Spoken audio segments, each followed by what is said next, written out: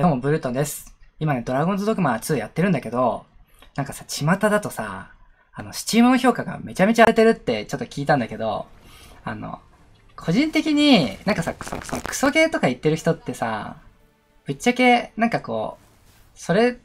その人ゲームの面白さ、どう考えてんだろうなというか、なんかこう、ゴルフとかさ、接待でやって楽しむタイプなのかなとかね、ちょっとね、思うぐらい、なんかその、なんて言うんだろう。こう、不便さに対してしての不満がすごくちょっと大きすぎるというかさ、かそういう人すごい増えてるなってちょっと思うんだよね。個人的に。よいしょ。なんかさ、その、多分だけど、そういうこう、なんだろう、ゲームがさ、に実装されてきた、こうあらゆるさ、こう、便利さに対しての、なんかこう、アンチテーゼみたいな、こう、ところがさ、結構あるの、あるというか、わざと意図的にそうしてる、こう、クリエーションになってるのはさ、この、ドラゴンズドグマっていうゲームだと思うんだけど、あの、ちょっとね、こう何が面白いのかなっていうのを最近さ、こうすごく考えることが多くて、こうゲームとかいろいろやってる中で、どのゲームが面白くて、まあ、自分がこうゲームにどういうものを求めてるのかとかね、結構考えることがあるんだけど、あの、ちょっとね、やったことあるかわかんないんだけどさ、あの、ゲームでチートとか使ったことある人、いるかわかんないんだけどさ、自分はあって、なんかこう、クイックセーブとかでさ、ロマンシングサガとかをこうやったりしたことあるんだけど、あの、なんかさ、こう、例えばクリティカルが出るまで、もうひたすらこうクイックセーブで戻したりとか、で、あの、どんなモンスターもさ、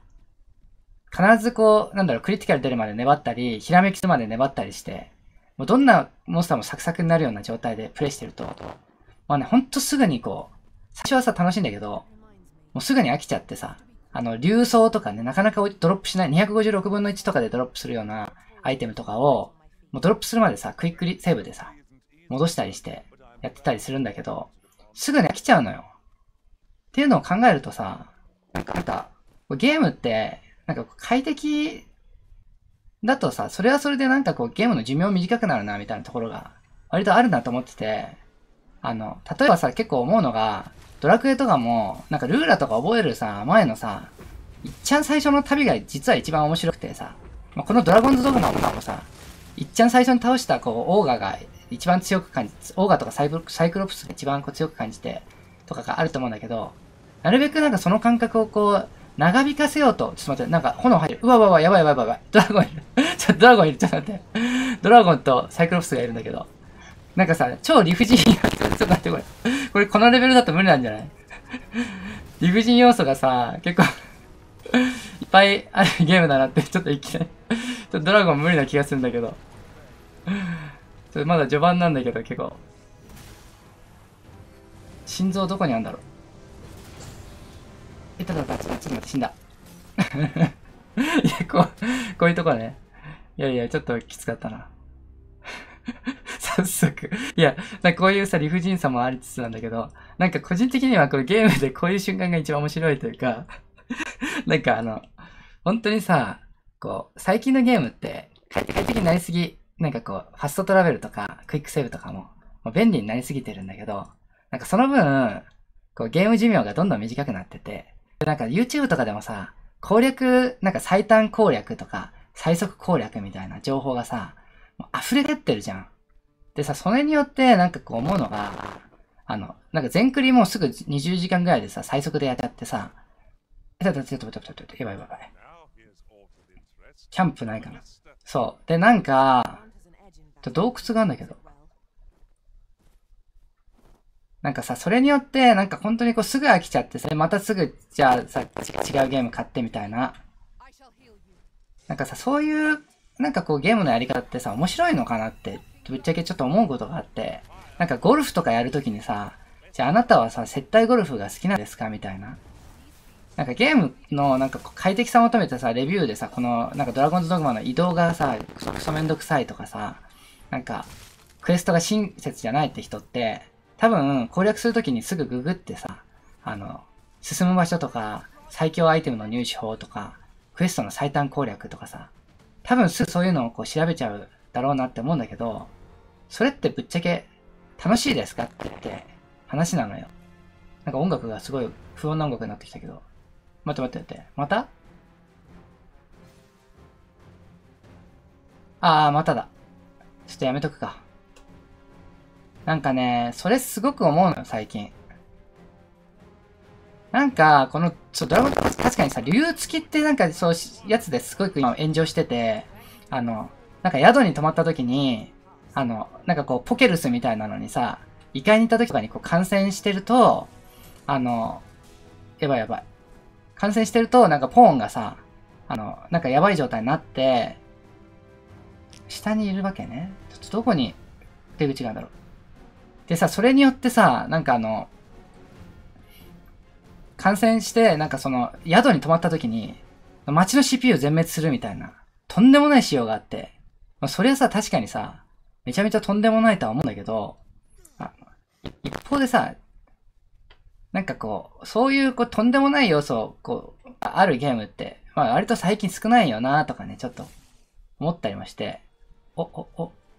これは先に進めるぞ、多分。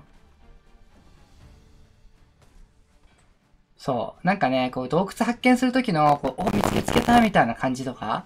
これ多分今しか味わえないと思うんだけどさ、そういう要素がさ、結構こう、ゲームにおいて、まあ、楽しさにもなってるよなーって、個人的には思うんだよね。そう。何が楽しくて何がつまらないかってさ、人によって違うと思うけど、なんかそういう価値観の人も、まあ世の中にいるんじゃないというか、まあ自分はね、割とそういう価値観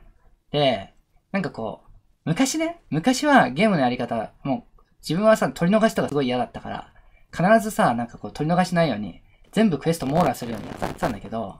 あの、こゲームね、ほんといろいろやる、や、やりまくっ、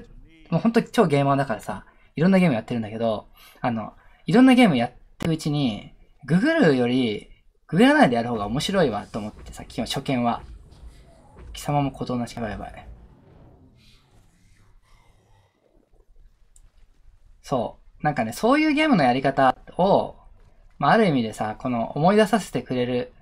ゲームじゃないって。だから、なんかできればね、このゲーム本当やるときに、こ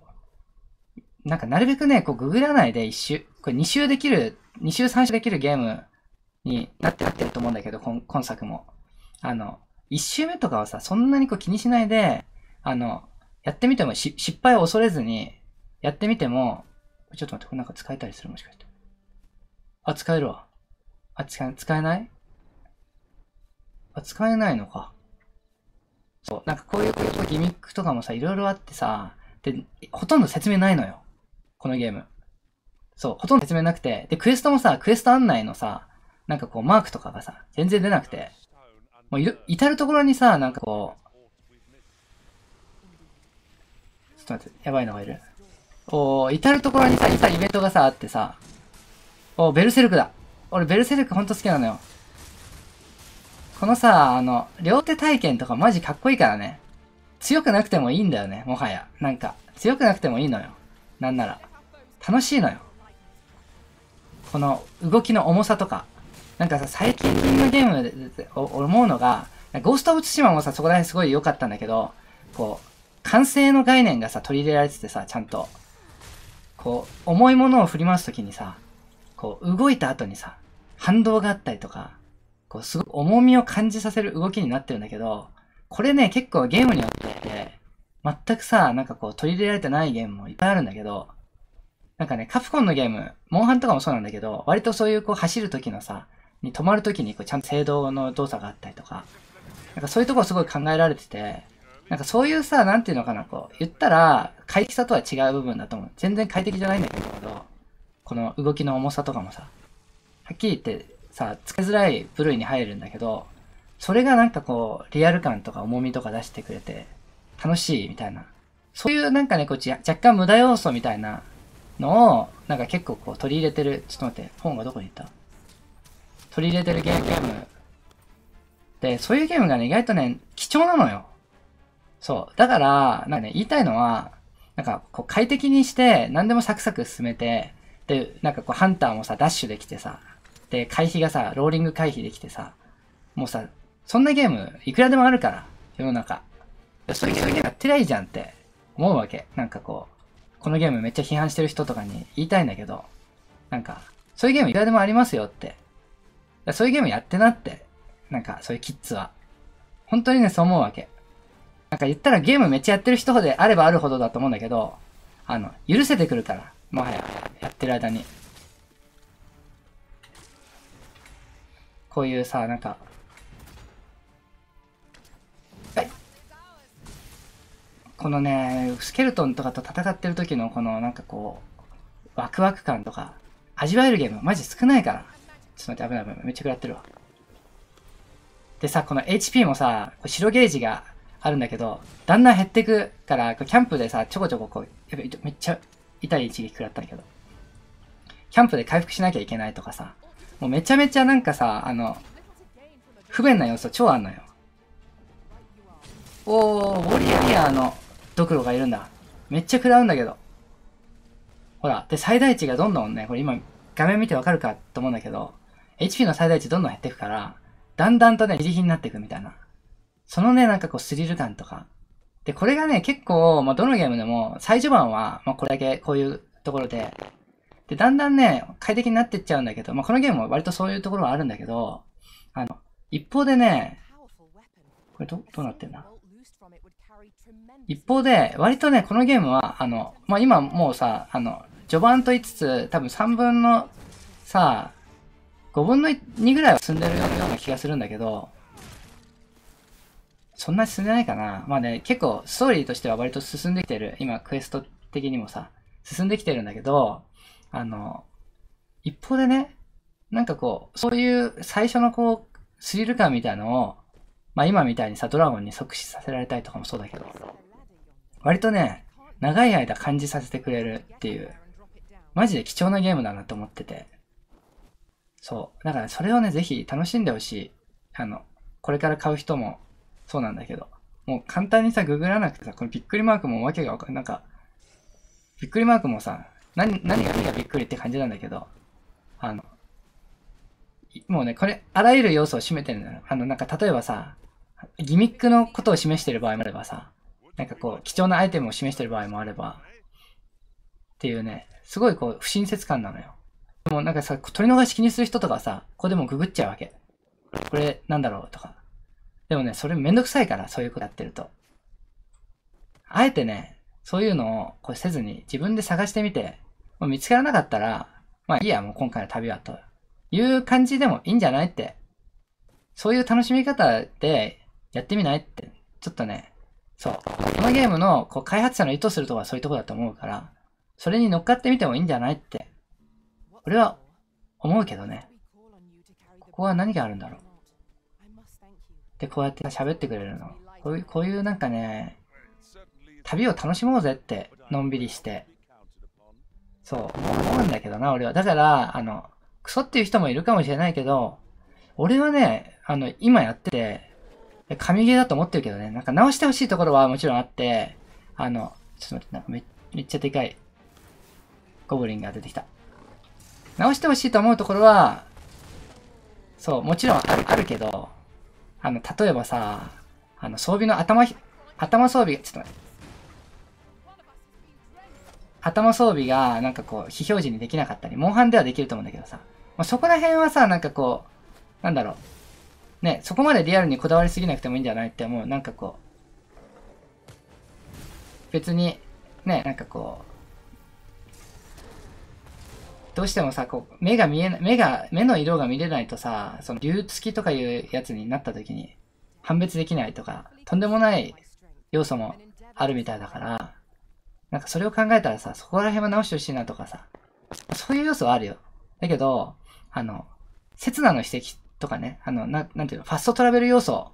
が、あの、まあ、有料なのはどうなんだとかさ、言ってる人いるけど、まあ、なくても、別に移動楽しめばいいじゃんって。思うわけ。いけないか。いけたとて、この先に何があるんだって話なんだけど。そう。なんかこの先に何が、先に何があるかわからない状況を楽しもうぜって、ググググりすぎずに。まあ自分で実況やってて何言ってんだって話かもしれないけど、そう。なんかそういう気持ちでこうプレイする人がこう、もっとゲームに増え、あ、探求心残した。増えるといいのかなってまあ個人的な意見だけどね。そう、そんなことをちょっとね、つらつらと思いました。なんかさ、もうさ、そう、そう、なんか何でもかん、なんかさ、カプコンのさ、そのツイッターとかにもさ、何々実装してくれみたいなやつやつでさ、あの、めちゃめちゃなこと言ってる人いんのよ、本当に。回避とかさ。走ってる時のスタミナをさ、無限にしてくれとかさ。そう、スタミナ無限にしてくれはいいよ、別に。原神とかやってりゃいいじゃんって思うわけ、そういうキッズは。俺はね、そういう風に思うけどね、本当に。そう。っていう、なんかそういう自分の意見でした。なんかみんなの意見もちょっと気になるけどな。あの、ドラゴン2も結構さ、自分のさ、あの、ダークアリズムの実況もした時あるから、あの、ダークアリズムやってた人も、あの、中にはね、見てる人いるかもしれないけど、なんかその、こう、経験者の意見も気になるし、まあ逆に言うと初見の人の意見もね、気になる。じゃあ気に、これ、なんかある？上に行けんのかな？なんか赤くなってるけど。としきり見たような気もしなくもないけどね。そう。だからそういう人がいてもいいんじゃないって。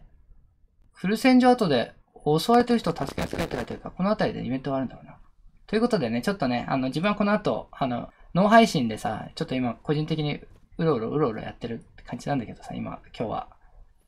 そう、ちょっとそういうこと思ったから、あの、まあ、こういう意見もあるよということで、なんかもしね、ちょっとこう、自分の意見はこうだっていう人がいれば、コメントで残してほしいなって思うんだけど、まあ、ここら辺は意見が分かれるところなんじゃないかなって思うけどね。そそれでよくないっていうのが俺の意見かな。はい。ということで、えー、そんなブルトンの発信でした。じゃあ今日はね、こんなところで。バイバーイ。